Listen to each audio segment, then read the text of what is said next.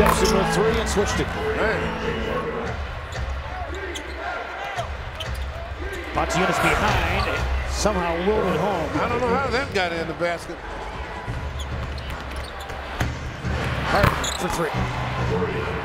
That's the thing about Hart. You know he can go to that anytime he wants. So he's got 11 points. 846. Hawes has his first points. Inside, count the bucket. James Harden. So all of a sudden he's got their last seven points.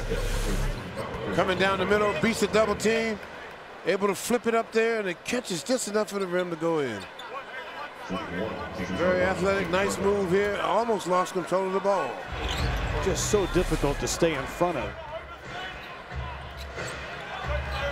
Look at the handle he's got. Wow. Along to James Harden. Wow. That's all you can say. He's got 18 now. Or excuse me, 20.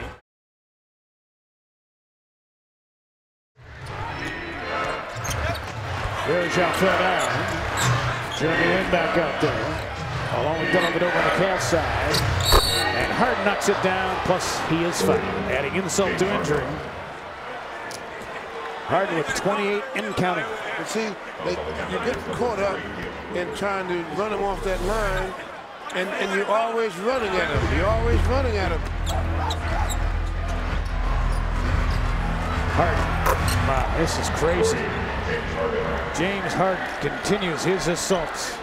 What a brilliant player he is. 32 points. Man, he's, he's barely breaking a sweat, it looks Yeah, like. I know. Well, the beard's probably hiding a lot of it. and Harden and the crunch and the Cavaliers getting it right in the mud right now.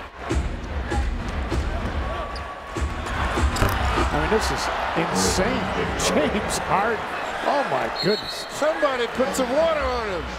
Man, And pay attention to him. right. Are you afraid to guard him? He's got 37 points. Even Kevin McHale, who's seen the best of the best, had to shake his head. Like, boy, I'm kind of glad he's on my team. You're right. Steps into that one, 101-72.